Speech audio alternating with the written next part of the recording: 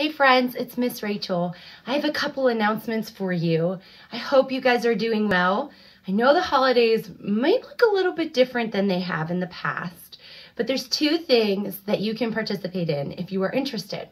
The first thing is I'm going to put together a what are you thankful for video.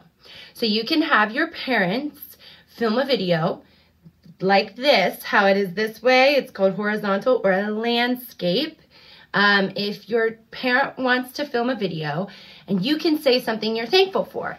So you would say, I am thankful for my family, or I am thankful that I still can do school online, or whatever you might be thankful for this year. The second thing is for Christmas.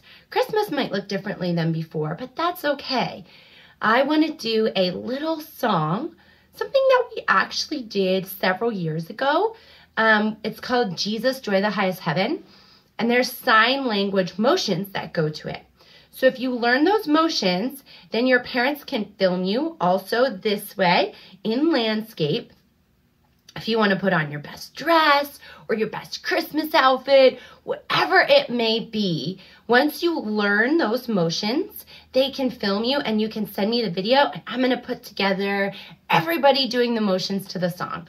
Hopefully just something a little special for our Christmas this year. I want you to know that I miss you guys so, so, so, so, so, so, so, so much.